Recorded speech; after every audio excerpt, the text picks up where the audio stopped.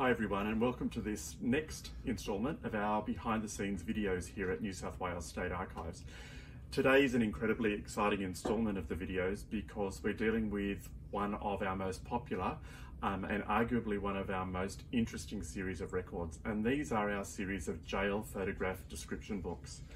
These volumes are almost like mugshots, if you like, of jail inmates from 1870 through to 1930 from jails right across New South Wales.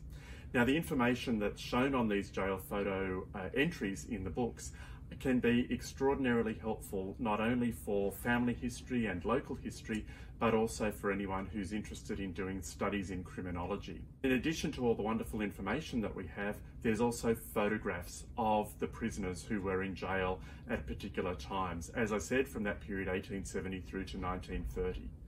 The wonderful thing about these records is that, of course, they've got famous people in them, but they've also got people who don't have a particularly famous uh, profile, but whose story is nevertheless absolutely fascinating. It's criminals from all walks of life. It's everyone who was perhaps a murderer, down to someone who literally was imprisoned for five minutes for making a false registration on a birth certificate.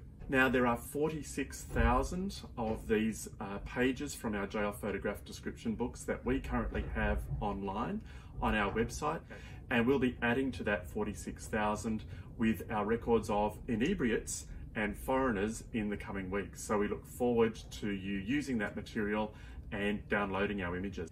So I hope you enjoy looking at our jail photograph description books and we'll see you next time. Bye for now.